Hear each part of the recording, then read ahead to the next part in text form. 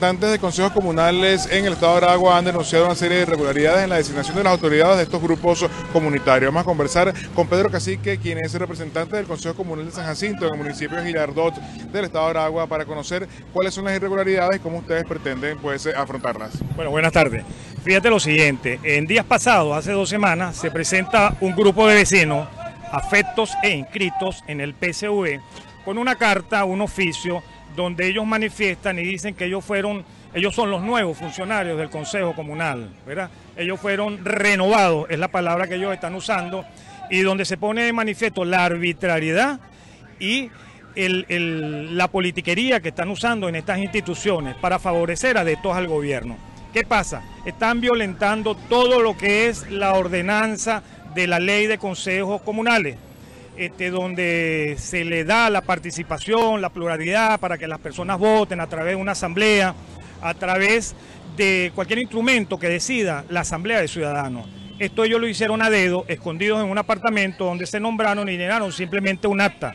Que también por informaciones internas que tenemos se dice que llenaron un acta donde tienen una serie de nombres y apellidos ofreciendo y engañando a nuestra comunidad, ofreciéndole cajas CLAC para la comida, porque es sabido por todo que la necesidad la estamos pasando todo. En vista de ello, acudimos a la dirección de Funda Comunal, donde está la ciudadana Elvira Sánchez, aquí está, y le consignamos un oficio donde le solicitamos a ella, le, solicitamos a ella que nos dé explicación a esto, a lo cual ella nos manifiesta que para las renovaciones que están haciendo, porque es decreto presidencial, solamente pueden participar personas o grupos sociales inscritos en el PCV. ¿Ok? Este, caramba, qué asombro, ¿no? Tremenda anomalía. ¿Por qué? Porque solamente pueden participar milicianos, Frente VH, Frente Francisco de Miranda, todas las organizaciones sociales que ellos tienen. Quedando por fuera la sociedad civil. Quedando por fuera la sociedad civil. El dirigente comunitario, el que hace vida comunitaria. En vista de esto, perdón, en vista de esto, este, ¿qué vamos a hacer nosotros? Si tenemos armas, nosotros tenemos algo que no tienen ellos, que no tienen ahorita las instituciones del Estado porque se han desprestigiado. Y es que tenemos la arma, el arma de la moral. Nosotros nos vamos a legitimar delante de todos nuestros vecinos y de nuestra comunidad. Y para ello vamos a llamar a una gran elección de ratificación, de votación, donde acudirán nuestros candidatos y donde tendremos de candidato a las fuerzas vivas del Estado.